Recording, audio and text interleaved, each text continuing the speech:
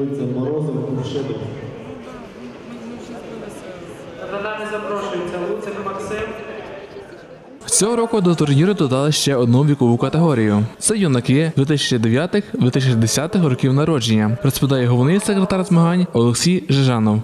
У нас в Хмельницькому дуже зараз дзюдо стало популярним. У нас повідкривалися нові спортивні школи. У нас дуже багато дітей саме такого віку 2009, 10, 11, 12 і е, батькам, е, так само дітям.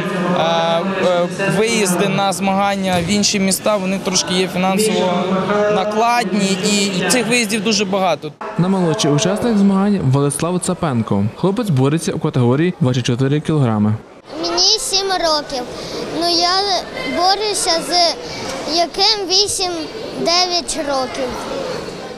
Все я яскраво. Мені сподобались ці змагання.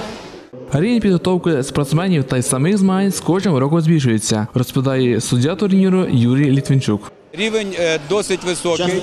Вчора змагалися старші юнаки. Це був рівень кандидатів в майстри спорту, майстрів спорту. А сьогодні розрядники змагаються. Учасників стало більше набагато, і з кожним роком рівень змагань все зростає.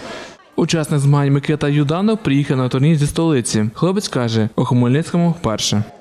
Хороший город. Гарне місто, сподобалося. Особливо набережна. Є сильні супротивники, а є не дуже, але в основному сильні. В основном сильно.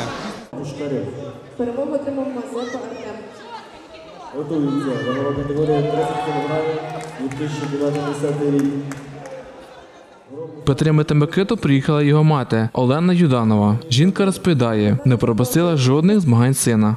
З п'яти років ми займаємось дзюдо. Так, ну, в мене чоловік дуже е, в дзюдо багато років назад був е, і був навіть президентом Федерації дзюдо е, в Києві. Тому для мене дзюдо це ну, частина мого життя і моїх дітей. Дуже гарно прикрашене на новий новий рік. Уже в нас такого в Києві ще немає. Ми багато зробили вже таке собі е, світлин на згадку. У перший день змагань переможцями стали дюдоїсти з Києва, Рівного та Хмельницького. У другий день змагань відбувся фінал та нагородження спортсменів. Андрій Гуменний, Віктор Кровий. Новини на Суспільному Хмельницький.